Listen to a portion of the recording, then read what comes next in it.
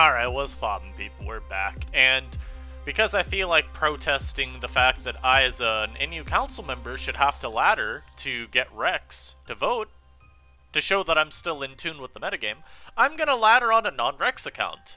Because that is much less annoying when I lose. no, but really, I don't know why that was ever changed. Just, just, any, I guess asking for scrutiny of council members and their activities bad or something. But, let's go over the team real quick, because I made this semi-recently, and admittedly, I feel like this would be a better team to bring in a tournament setting. Because it's featuring around Glastrier. Now, this Pokemon's got a pretty bad reputation in NU, because it's... We, we banned it immediately when it dropped, and then suspect tested it immediately, because they're like, this looks like it could be broken. And it ended up not being broken. It was still pretty strong, people felt, for a while, and then it just kind of fell off the face of the earth. It's gotten a little more respect lately, and by a little bit more, I mean it got used in, in an UPL game once. And it basically 6 0 the matchup, because Glastrier against a lot of those Vaporeon teams is really good. You can Swords Dance up really easily behind your substitute, you're able to EV in such a way so that your sub won't be broken by a Scald, and a lot of those teams, just the way they're built, end up not having the best of answers to this Pokemon. And that kind of is why I think this might be a better kind of team to use in a tournament, where you're more likely to face something like that, you know, standard bread and butter balance look, compared to ladder where you'll face just a lot of offense, really, and then just random assortments of six Pokemon that realistically should never be put together, but still get put together. Then we got Glastrier, and just a lot of nice, you know, normal things. Mudsdale, Rotom, Vap, Talon, Standard Core, and then just a nice little Escavalier last. This is Nasty Plot Rotom Mow, by the way, because I felt like the team needed another way to win a game. Anyhow, though, as per usual, if you've been enjoying the content, make sure to leave a like and subscribe if you haven't already. We actually hit 2,100 subs sometime today or yesterday, so that's cool pretty quickly after we hit a thousand, not a thousand, pretty quickly after we hit 2,000, so hopefully we can keep going up. Again, the end of the year goal is 5k, so let's try to hit that. Anyhow, this is actually looking like a pretty decent Glast matchup. I mean, we're looking at my opponent's team. This one is kind of nice with it. Um, I don't know what I sub versus, admittedly, but I don't hate this matchup. I kind of also just like Rotom as a lead. Now, I am EV'd to have 8 HP EVs. That just means that this can't 2-hit KO me with Brave Bird. Now, I have a Sitrus Berry, so that wouldn't matter anyway, but hey, you get the idea. Ah, I mean, if I'm my opponent, I'm probably U-turning into Dragalge. And they do, I get my berry. This is an offensive Talonflame. This is an offensive Talonflame because that U-turn U-turn does less, obviously, than your other moves do. I'm gonna go Glastrier. I don't see an item, so I'm wondering if it's boots or specs. I'm gonna roll the dice and say that you're, um... Say that you're not gonna be faster than me. I want to sub here and just see what he does. Because if his response is to go Talonflame, I don't think he breaks my sub. Well, even if he breaks my sub, he's gonna be, like, nothing good. Okay, I think he's, um, specs. And we do get the three hits. Nice! Okay. So Glastrier actually starting off pretty good. Getting us a KO. And if I'm my opponent, I maybe go... I mean, again, this Talonflame has attack EVs, but I I almost want to say that it's going to be one of those cases where they just click the autofill in EVs thing and they'll like still be just straight up the utility set, so they'll have Will-O-Wisp. If they go Stoys, I think I just attack it. If they go anything else, I think I just have an advantageous positioning. Um, because yeah, I mean Mudsdale, I could probably even just Swords Dance versus and not care too much. Because the most it's going to be able to do to me is go for body press. Is this still the same mute? No, it's not. Huh. I didn't press loop, but it is still Glitch X City. Nice. Yeah, my opponent's thinking real long and hard about this play. And I mean, I may as well rant a little bit more about suspect tests and why I think they're fundamentally flawed real quick. Um, really, the long and the short of it is just this. I don't think the ladder, particularly for lower tiers, and maybe it's just an NU thing, but I don't think that it is. But I don't think that ladders are indicative of the actual metagame. And I feel like that is a just issue that makes suspect tests kind of troll, especially when you're looking at it from the super qualified position. And what I mean by super qualified is just like someone that's in council, um, people that are being really successful in tournaments lately. I just feel like if you're one of those kinds of people, you don't really stand to gain a whole lot from Suspect Ladder. You've already shown in other ways that you know what you're doing in the format, and so what's really the point of having you got in Ladder? I'm gonna switch, by the way, here, but I don't know if I actually need to. I needed to. That was a fantastic play on my end. But I feel like we could do with giving out voting requirements just by default to some of these people. I don't know what endure means, by the way, for this Pokemon. But, like, I personally feel we should be letting people, like... Council should probably just get to vote, right? If you're on Council, you know the metagame. I think if there's a suspect test going on, and there was recently like an individuals tour, well, I think the winner and probably some other people within, you know, not just the winner, but like top eight at least, probably should just get automatic voting requirements. Um, you're not Mystical Fire. You are. Huh. I I'm not actually surprised by that. But I feel like that probably makes sense. For example, right now, too, we're having it so ladder tour accounts also qualify people for voting. And I think that makes a lot of sense. I'm also just going to sack Glastrier. Uh, last move, Roost probably here. That's fine. But I feel like little things like that would make a lot of sense. Because I think, from what I've been told, there are people that don't go for um Suspect Rex just because it's annoying. You know, you're asking someone to do a whole bunch of laddering and oftentimes the ladder is really low quality. So I can pull up a lot of replays that I saved on my Suspect Rex account. This is like max bulk. What in the hell? Um. But yeah, I could pull up a lot of my um games that I saved and just showcase, yeah, this is the kinds of games that we're playing. Also, I might lose to this mon here but fortunately my opponent is not making full use of the turns that I might protect. Okay. Why is my Scald doing so little? but I feel like that would go a long way. You'd make people feel a little bit less ambivalent about the whole process. Or not ambivalent, that, that means more neutral. You make people feel less negative about it. And I think that would go a long way Oh my god, this mod is actually so annoying right now. I do get a wish off. I knew it was gonna shell smash there, but I don't have an option anyway. Um,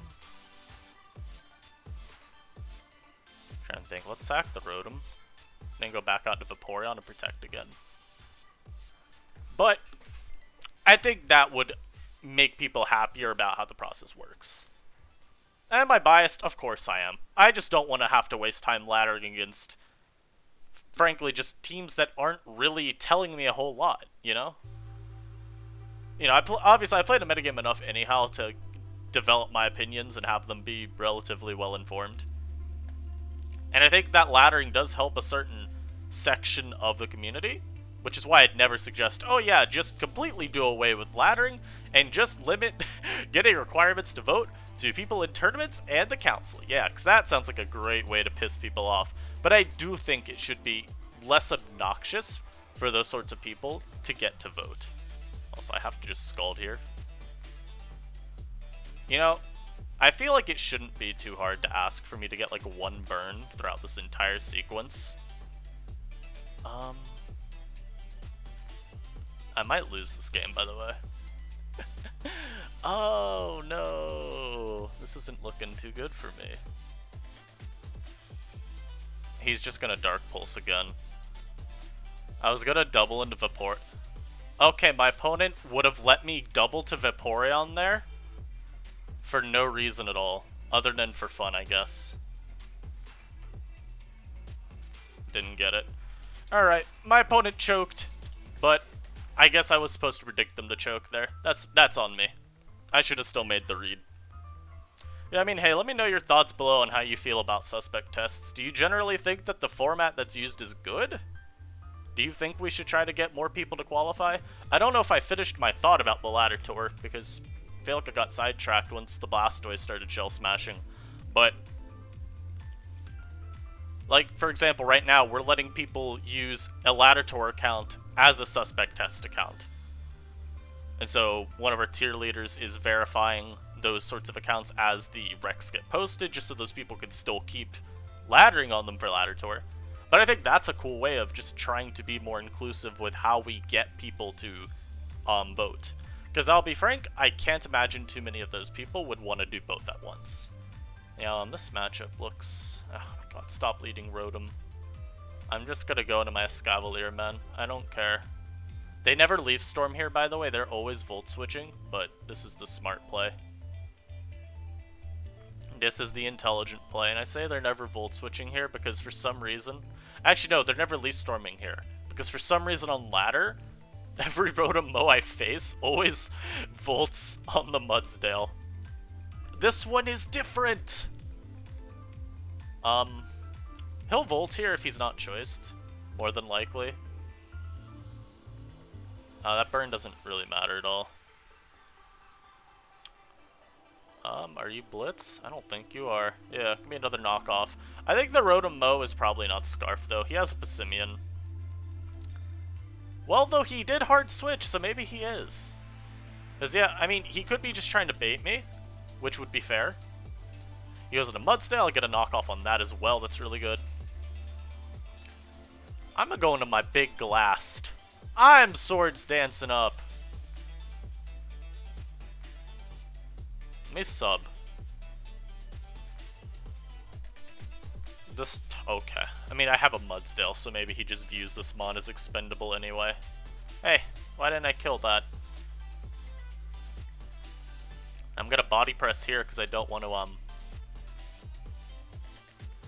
what's it called? I didn't want to uh, go for Earthquake if he went Rotom and then get nothing out of it.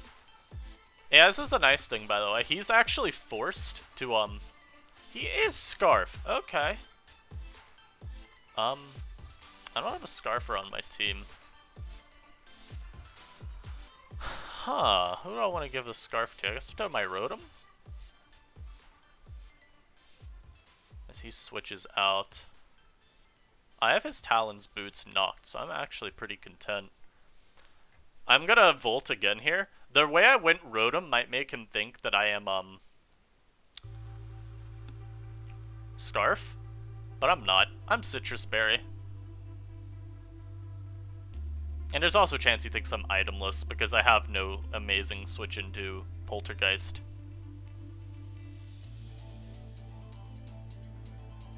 Yeah. I think honestly Rotom Mow, by the way, low-key, probably should have been what we banned. Well, not banned, but suspect test as opposed to Dragalge. People seem to be more on board nowadays with the notion of Rotom Mow broken at least, so that's good. Um, this faints to Rocks. This would faint to Brave Bird. I think he has to go Rotom Mow here. I'll just Brave Bird to deny the um Talonflame a switch. Because he's probably going to want to try to uh, defog with his Rotom, assuming it has defog. And I'd like to try to uh, punish him for letting me knock Talon's boots for free early on and then set rocks without him ever fogging away my rocks. I think that's how we continue to press our advantage. And high key, I feel like we've seen multiple examples of um opponent not opponents, players failing to press advantages in, in UPL. I can name like three games off the top of my head where, in my eyes, a player played super safe, or not super safe, but a player didn't play proactive. And as a result, I think they were maybe opening themselves up to losing games. that at the same time, they're in each of those games that I'm thinking of, the advantage that the slower player got was so huge that I don't even know if I could flack them that hard, you know? Because I think there's something to say about recognizing when you're in an unlosable position. Just being like, yeah, um, opponent, what are you doing there? I wanted to Wisp just to get, like, some extra chip. Yeah, you can't switch that in. Okay. But I think there's something to say about recognizing once your advantage is, like, nigh and nearly insurmountable. That is a skill in and of itself. And nice, we do get a win. So, maybe it's not even a bad thing for them. At the same time, though, I feel like if your opponent plays aggressively enough, there's always a chance that they're able to claw their way back into a game and punish you for playing too slow. This is another game where, in theory, Glast should ream my opponent. And I'm gonna lead Glast. There's no way your Specs faster than me and can OHKO me.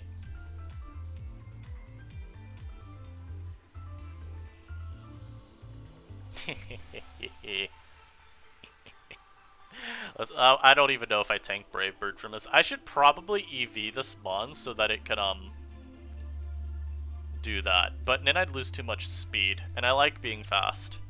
Right now, like, it's EV'd for, um, Vaporeon Scald, right? Okay, that's not how that works, friend. But I'm gonna Icicle Spear now to punish you. For Will-O-Wisp being a substitute. Yeah, I think it's a skill. I think that is a skill. If you could just tell from a point... It's kind of like how on Team Preview, right? One of the things you should always be doing is analyzing both, not, like, analyzing not only what your win condition is, your win path, but your opponent's too. So, if you're able to figure out, okay, my opponent loses this Pokemon, they literally cannot beat me anymore, I think that's a skill. Um, Ladder Tour player, this team is boring as hell. I'm leading Glass. I have a feeling this is going to be Specs Dragalge here. That shouldn't be too big a deal. So like for example, here I guess I could talk about what I imagine the wind paths are. His is going to be Ground Valley. I feel like Ground Valley doesn't need too many conditions met for it to sweep. I mean, I don't know though. I'm a bulkier Glast, right? Like I'm max HP. So that could be a bit of a nuisance for him. I'm also going to have an Escavalier that going to be a little annoying to bypass. Mudsdale, of course, is a thick, thick lad. Uh, he goes in this. I'm just to Icicle Spear. I don't think I lose anything by doing that. If he tricks me a Scarf, that's unfortunate. But at the same time, I like to punish my opponents turn one by removing a threat if I can. you know, I mean, having a scarf is... I mean, at least it means I'm always faster than don't know. I could have subbed on that. Wow. You ain't faster. Yeah. Yeah! Yeah! Alright. Nice.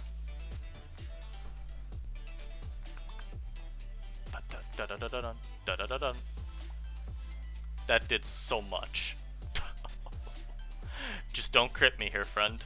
Just don't. Don't even think about it. And I think he has to Leaf Storm here, right? No! It barely break. That's a high roll. Oh man.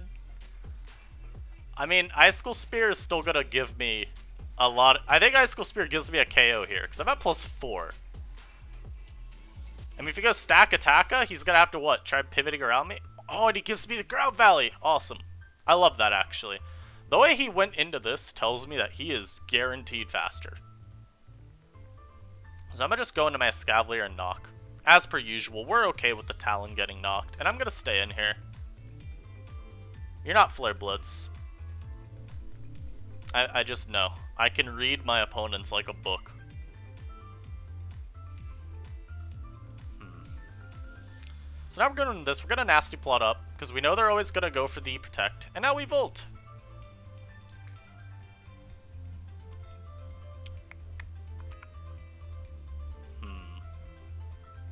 Go back into Glast, try to get a little bit of health back, and now go into my Rotom. Surprised a little bit that he volted there, but that's okay. And if he ever goes into Dragalge, we just Volt. As he goes for Draco and crits. Wow, I think that's a weird Draco to make, so I can always go a Escavalier and just go for rest. It worked, but wow, I think that's a bad play.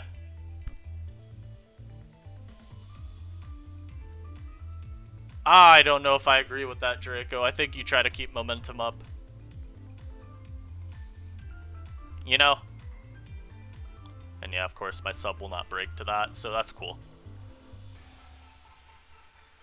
Was hoping that somehow my sub would um take another, but that was obviously a pipe dream. Dragalge comes back out. I still value this mon.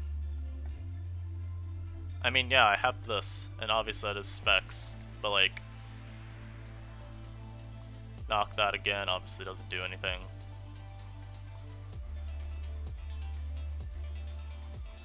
I'm gonna just wake up and knock. I'm gonna go for another knock. Oh, he was Sitrus Berry. Okay. This is a time where I wish I was like Swords Dance, you know?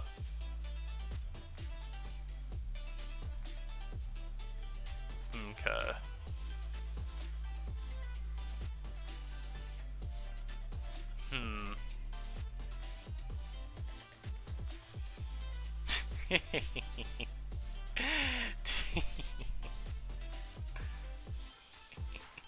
that was funny. I'm a brave bird now.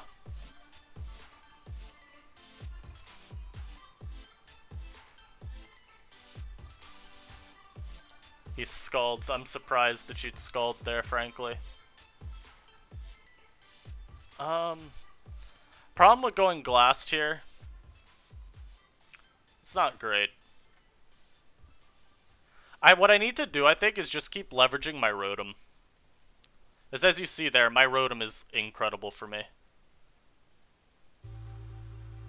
So let's let, let's keep leveraging Rotom Mow.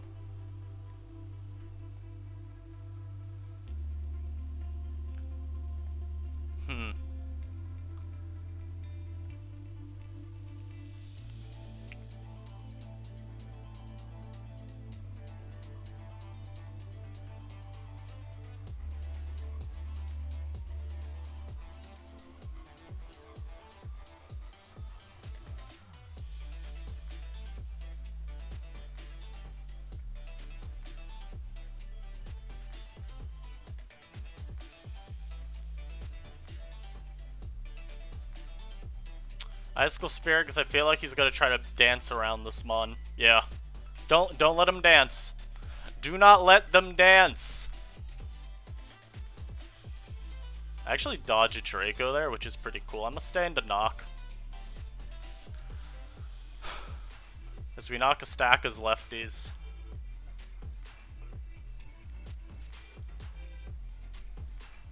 We don't OHKO that, though. That's unfortunate. I feel like I definitely threw my advantage this game, by the way. But I also think a Escavalier might be able to sit in front of his team and win, so I don't know. Uh...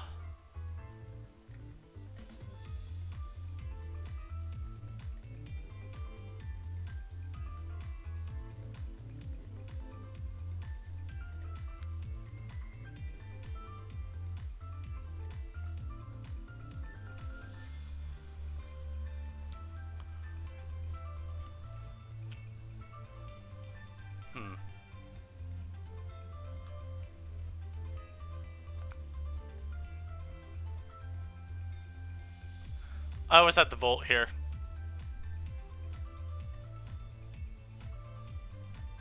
And now we just try to not let the Escavalier, or the Dragalge back in.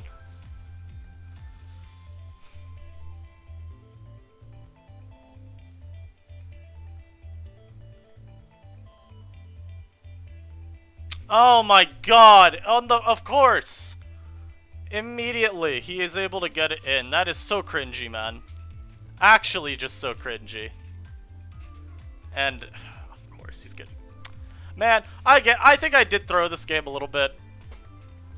Wow, I'm, how are you getting so lucky with these attacks, by the way? Oh, let's not accidentally do that.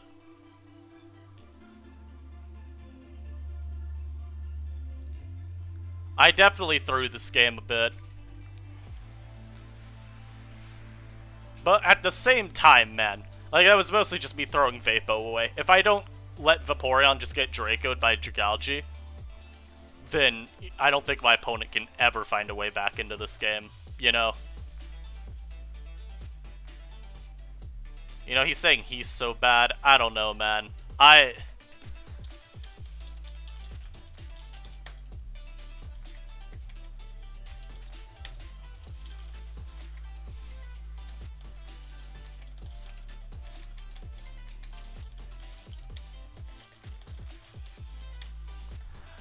Uh, this game's always me winning if I don't give him Vapo.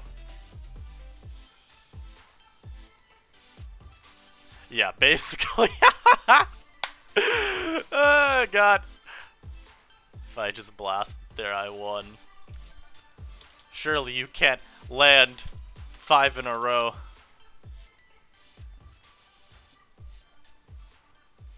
This is Dragalge, by the way, did not hit, hit four in a row. Alright, now we just gotta... Come on, please. Thank God. Uh, do we win this now? Oh, we do. Okay. That was a bit of an unclean game by me. I'll be... I, again, I'm gonna be straight with y'all. I don't like lying and trying to play like, oh yeah, I played this game perfectly. I, I want to at least be honest when I play bad, and I think I should have... Like I said, I should have had this kid packed up in a bag, toting him off to the airport,